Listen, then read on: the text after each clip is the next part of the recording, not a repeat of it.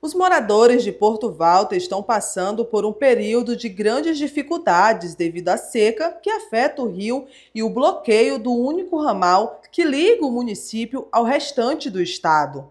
A situação se agrava pela falta de acesso terrestre, que é o mais rápido para chegar e sair do município, que possui uma população superior a 10 mil habitantes.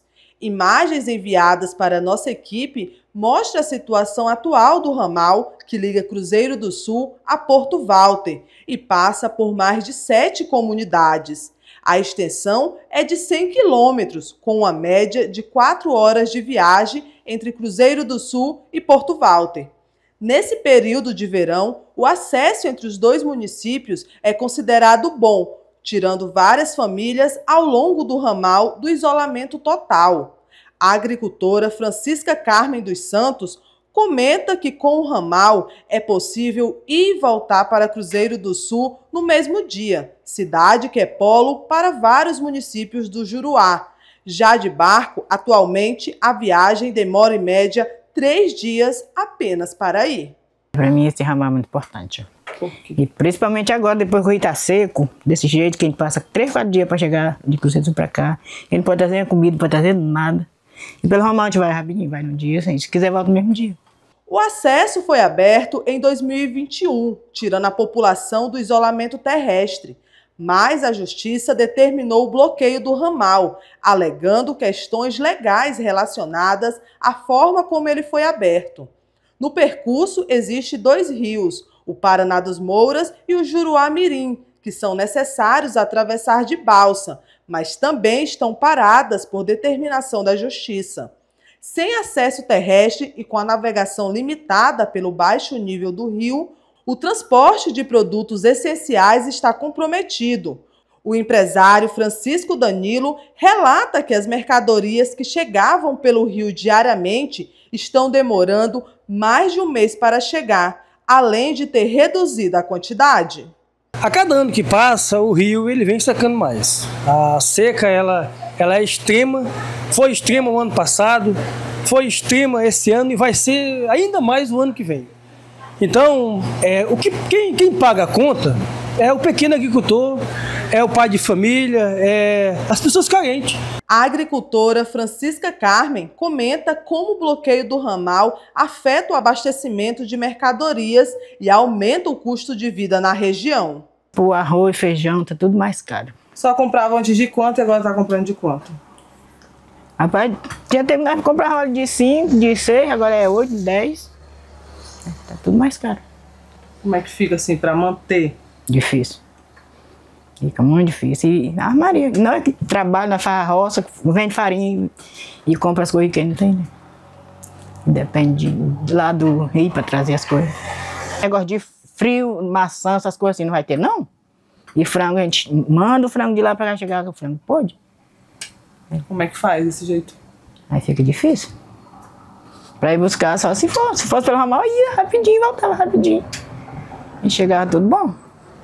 Porque outro dia eu vi umas fotos, umas maçã, umas verduras, tudo pode. Quando chega no mercado, a senhora vê essas coisas no mercado? Tem, tem muito, tem mais estragado? Tem mais estragado, porque passa muito dia para chegar. Com a dificuldade para o transporte de mercadorias, o preço dos alimentos e de outros produtos básicos sofreu um aumento significativo para os comerciantes, sendo repassados para a população. Se a gente paga 30 centavos o quilo do frete no inverno, nessa seca extrema, a gente está pagando um real o quilo. Então, e, e, e, nem vem a mercadoria, porque ó, pelo fato do rio baixar água, os barcos diminuem, né? O dono de barco vai com um barco pequeno, traz pouca coisa. Então, e tem um meio de melhorar. Melhorar para mim, melhorar para a sociedade, melhorar para a população, porque a gente gastando pouco em trazer mercadoria, a gente vai vender ela mais barata. Então você comprando mercadoria, trazendo, gastando muito para trazer mercadoria, você vai vender cara a mercadoria. Então, nesse caso aqui, no verão, nessa seca, tem muitas coisas que já está subindo o preço e começou agora pelo diesel, né? começou, está começando, começou pelo diesel, pelo gás, e vai chegar também no arroz, vai chegar também no óleo, vai chegar também no sal, porque tudo isso vem via fluvial, que no caso não está mais dando para vir. A situação é crítica e a população local sofre com o bloqueio do ramal, que afeta todos os setores, desde a alimentação até a área da saúde. Adelfran Dias de Oliveira precisa se deslocar todos os meses até Cruzeiro do Sul, com a filha que tem paralisia infantil, para realizar consultas médicas e exames. Ele relata as dificuldades que a criança de apenas 12 anos enfrenta para chegar a Cruzeiro do Sul de barco de ir voltar até Cruzeiro do Sul, para Rio Branco, para outros estados, fazendo o tratamento de saúde da minha filha. E eu vi como é o sacrifício para você ter essa logística de ir até Cruzeiro do Sul, de poder fazer um acompanhamento médico, de ter um atendimento melhor, com mais rapidez.